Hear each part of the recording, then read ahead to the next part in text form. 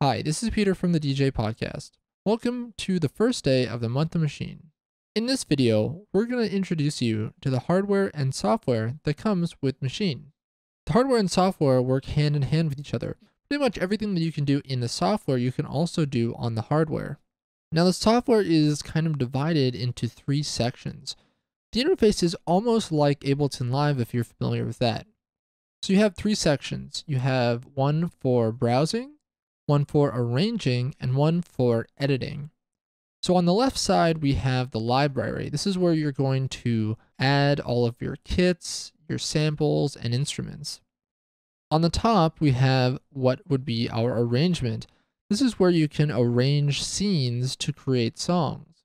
The bottom section is for editing, and this is where you're going to be able to edit all of your patterns. If you're brand new to the software and you kind of want to get a feel for it, my suggestion would be to start with a preset kit or project, and then rearrange the elements or samples in the presets before creating your own. Let's take a look at how you can load a kit. Remember that you can do this in either the software or the hardware. Let's do it on the hardware. Right now we're in control mode, which you can see up at the top, and then we're going to select browse. Now we are able to access all of the browse functions. We're going to want to make sure that we have group selected rather than master or sound. And then we are going to adjust our different parameters. Right now we have our filter set to group. Then we are going to change our bank to kit. We'll change the type to analog kit. And now on our right panel, we have all of the different analog kits. One thing that's important to know is that there's a button here, the second from the right, and that is for whether you want to load your kit with a pattern or not. If you just want to play around with the samples in a particular kit, you might want to press this button to disable loading with the pattern. So let's take a look at what that would look like if we loaded up this kit, which we can do by simply clicking the button on the right. Now we have a new loaded kit. This is an 808 kit and it has all 16 pads filled up with different samples. You can hit them now and you'll hear that they play as soon as you hit them.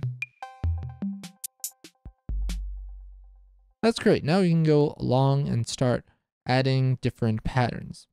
But what if we want to check out what a pattern might be that comes with it? Well, let's take a look. Let's say we want to do a 909 kit. Then we can select the pattern on. So click this, and then we'll hit load. Give it a second, and now you can see that we have a pattern that Maschine will run through that comes with the software. This is great if you want to get some inspiration and kind of see what kind of patterns you might want to create. But what if you want to go beyond just drum kits and want to see all of the features that Maschine has to offer? Easiest way to do this is to add an actual preset project. Right now, we are still in the browse mode and we are on group. What we want to do is go to master. Once we go to the master section, we now have the ability to browse through different projects. So we're going to go ahead and narrow it down to find one that we want go and use this knob, go through the different banks. So right now we're on NI projects. Then we will go down to Wasted Youth. Load that one. Here we are on the Wasted Youth project. You can see that there's a lot more than just the preset kit that we loaded before. Now we have multiple kits, multiple scenes, and multiple instruments. If you want, we can go through the different groups, in fact, and see all of the different patterns that are created. You can go ahead and rearrange any of the elements that you want. So if you want to mess around with them, you can get out of the browse mode, and then you can either play different parts, or you can go into the step sequencer mode and start adding different steps.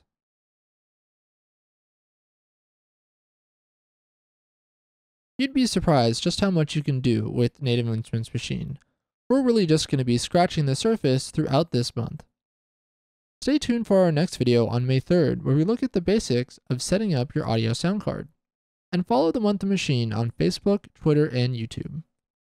Don't forget that you can watch all of our video tutorials, reviews, and how to's at thedjpodcast.com.